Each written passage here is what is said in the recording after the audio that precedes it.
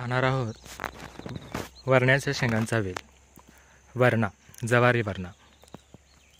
आंतरपीक म्हणून उसाच्या बांधावरती हा वरण्याचा वेल आहे.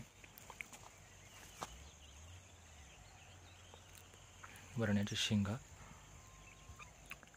अशा प्रकारे वरण्याच्या शेंगा लागलेल्या आहेत. पांढऱ्या वांग्यांचा वेल.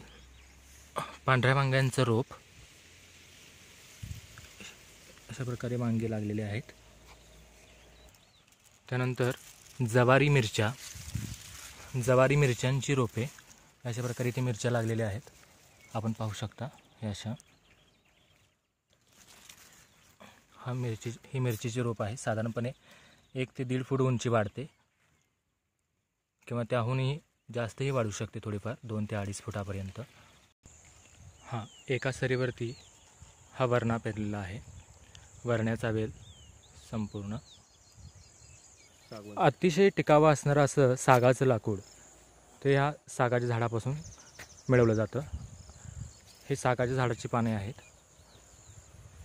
हे छोटंसं झाड आहे. या केळी आहेत. केळीचा घड सध्या लागलेला नाही आहे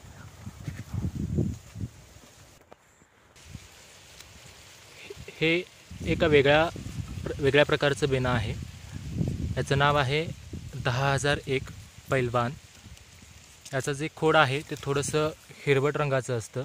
आपण शहाऐंशी झिरो बत्तीस याचं यावसाचं खोड बघितलं आहे ते थोडंसं लालसर असतं.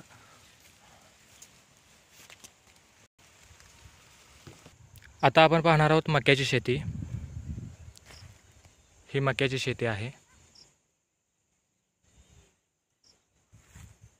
याच्यानंतर आपण तीळ पाहणार आहोत तिळाची शेती. ही जी लहान लहान रोपं दिसत आहेत की ज्याला पांढरी फुलं पाहताय तुम्ही ही सर्व तिळाची रोपे आहेत.